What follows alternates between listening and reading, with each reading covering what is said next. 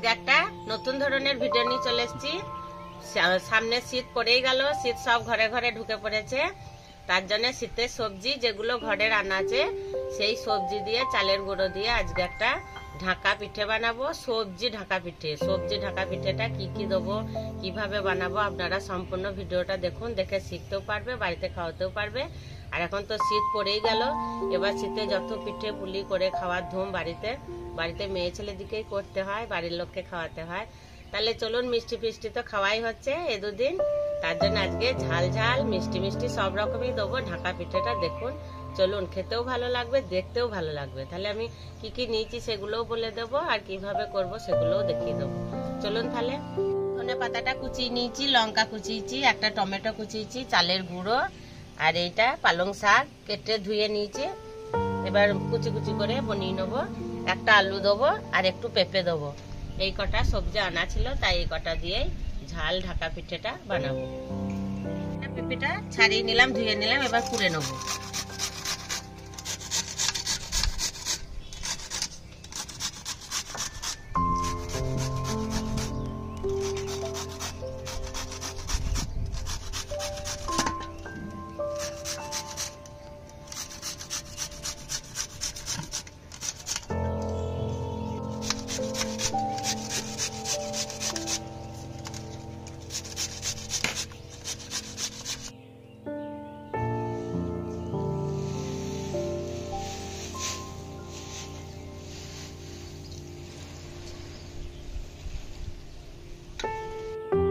সবজিগুলো ছাড়িয়ে ধুয়ে কটে কুটে নিয়েছি, এবার দেবো চালের গুঁড়ো। এটা এক বাটি আর এটা হাফ বাটি, দেড় বাটি চালের গুঁড়ো। আর এটা আলুটা কুড়ে ধুয়ে নিয়েছি। পিপিটা কুড়া হয়েছে, ধনে পাতা কুচি, সব সমস্ত মশলাগুলো বা দিয়ে দেবো, কাঁচা লঙ্কা কুচি আর টমেটো কুচি। বীজগুলো ফেলে দিয়েছি। লবণ।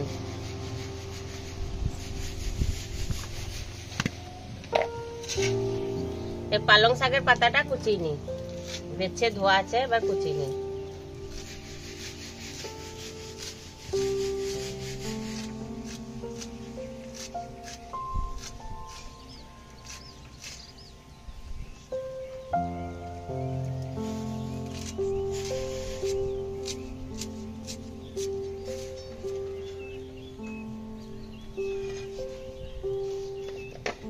দু চামচ ভাজা মশলা। এবার হাতে করে মাখিয়ে নেব, তারপরে জল দিয়ে গুলে নেব।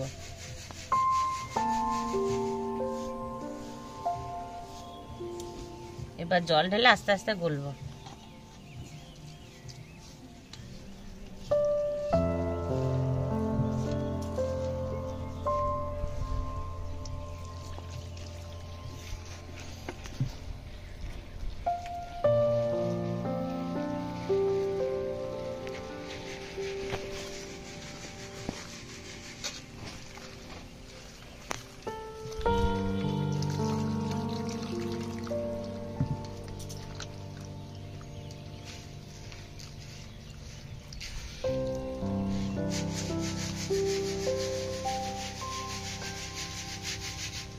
এরকম গুলনিটা হবে। ঢাকা পিঠি, সরা পিঠির মতনই। এইটাতে যারা পেঁয়াজ, রসুন খাবে, পেঁয়াজ, রসুনও কুচিয়ে দেওয়া যাবে। গোলা হয়ে গেল।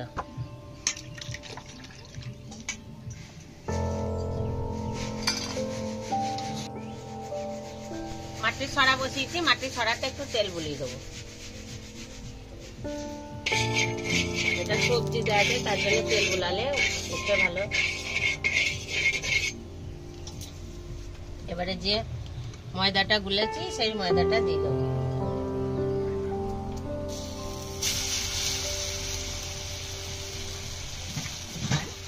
এবার একটা, এটা মুক্তি বলে মুক্তিটা ঢাকা দেবো সরা ঝুঁকি। সরা মুক্তি বলে সরা ঝুঁকিও বলে। এবারে ঢাকা দিলাম, আস্তে আস্তে জাল দেবো, হালকা হালকা করে জাল দেবো।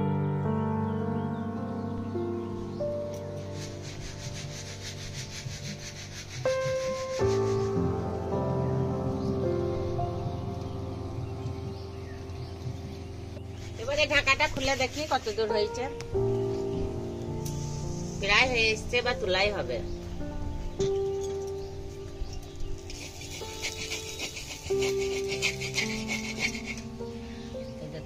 এইভাবে সমস্ত পিঠেগুলো সব বানিয়ে নেব। আর খুব সুন্দরই উঠেছে। আবার চাটুতে একটু তেল দেবো।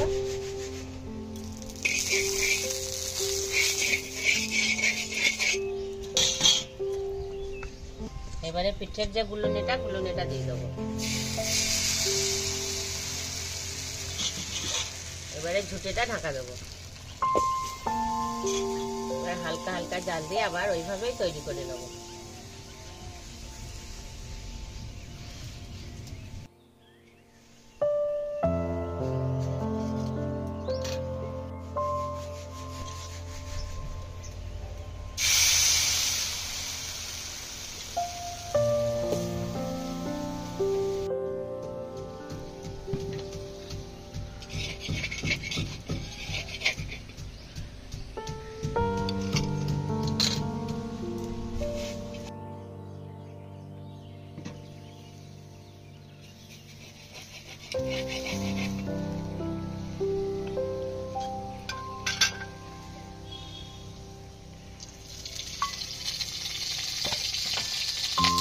ঢাকা পিঠিগুলো তৈরি হয়ে গেল সিজন এখন সবজি সবজি সিজন যার যেটা সি- সবজি পছন্দ হবে, সে সেইভাবেই করবে। আমার ঘরে যেটুকু ছিল, আমি সেই সবজি দিয়ে বানালাম।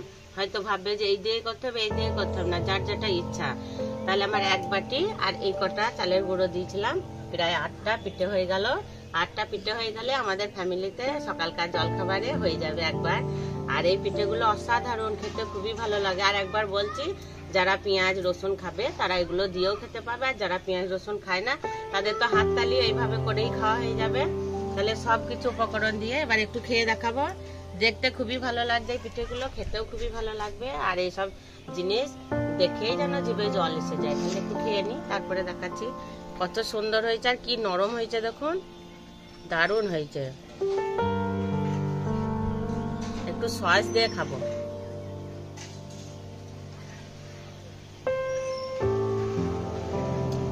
অসাধারণ, খুবই সুন্দর খেতে।